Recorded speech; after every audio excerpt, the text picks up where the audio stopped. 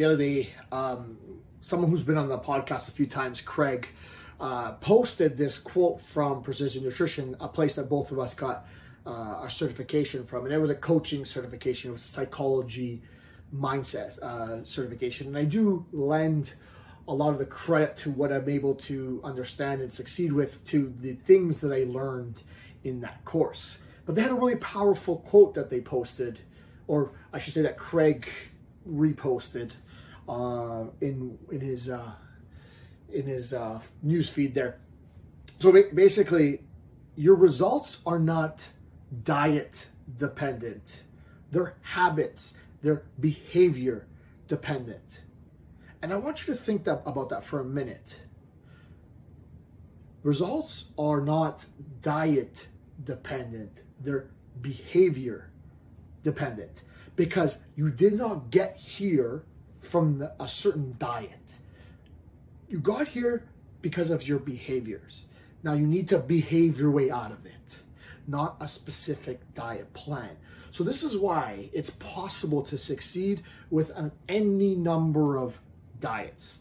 And diets really are just a set of rules and regulations that you follow in order to get into a calorie deficit. I don't like calling what I suggest a diet because what I all I do is give you a set of parameters and I want you to find your way within those parameters. And it might feel like it's a little bit challenging. It might feel like you think you're going to fail sometimes and you have to learn from your mistakes. And I I actually want that for you because it's this process of learning, this process of developing new skills, of forging habits, of changing your behaviors this process is how you get to the result you're looking for, not any particular diet. If I wanted to give you a shortcut that lasted a very short period of time, let's say you have three weeks to get on to the beach and you want to lose a few pounds, are you going to look exactly the way you want to? No, it's impossible. Uh, but can I get you there a little bit quicker? Yes. But are those strategies long term? No. They're a short term fix. That's a diet. Very short term fix. Don't have lasting results. And often are just a way to trick the scale, get rid of water, etc., etc.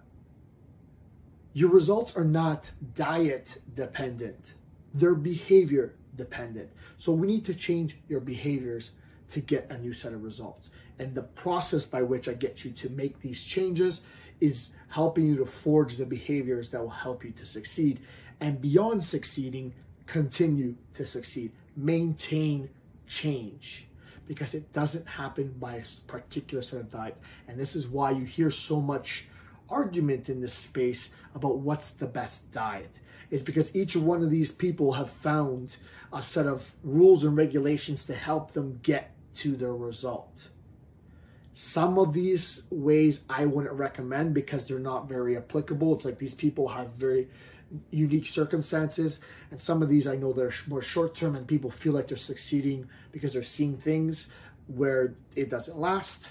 But in the end, um, I'm just looking to get you into a calorie deficit if, if your goal is fat loss, calorie surplus build if you want a big gain. But in the end, the results you're looking to get are, are a reflection of your behaviors and not any particular diet.